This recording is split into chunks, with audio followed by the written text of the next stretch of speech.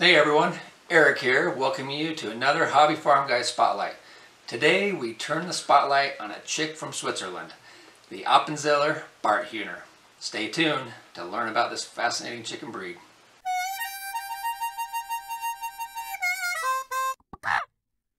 So what do you get if you cross Grizzly Adams with the chicken? Huh, that's obvious, the Appenzeller Barthühner. Boasting a unique fuzzy beard, the Appenzeller Barthühner is an old and rare breed derived from crosses between the brown leghorn, Russian bearded, and the now extinct Pulveraris. First appearing in the 1860s, they were bred to be hardy in the cold alpine winters of the Appenzeller region in northeast Switzerland.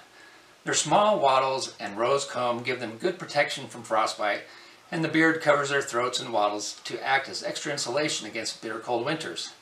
Barthühner literally translates to bearded hen. Rare, but available in several color varieties and even a bantam.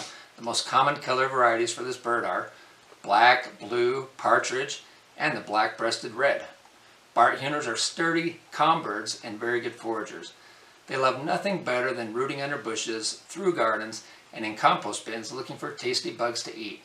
They are best suited to free ranging to allow for their love of foraging but they will cope well in a very large run provided they have suitable litter to scratch around in, branches to perch on, and distractions in the run.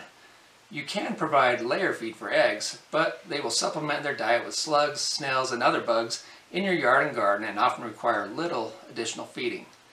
Overfeeding can lead to overweight birds, so if they have access to free range, it's best to watch their food intake. Unlike the Appenzeller Spitzhauben, the Appenzeller Barthühner breed is relatively docile, tameable, and friendly toward humans. Hens usually lay three to four large white eggs per week, or about 200 per year, even in the dead of winter. Hens weigh around 7 to 8 pounds when fully grown and will occasionally go broody. Roosters weigh in at 9 pounds and could be quite aggressive towards other males, so it's probably best to only keep one male per group of birds, if you wish to keep a rooster at all. During breeding season, the cocks can generally be a little aggressive, something to be aware of. Well, that's the Appenzeller Barthühner, a unique looking, cold hardy champion forager that produces a decent number of eggs. Let us know what you think by leaving a comment below and remember to like the video and subscribe if you haven't already. It's free. And until next time, happy hobby farming.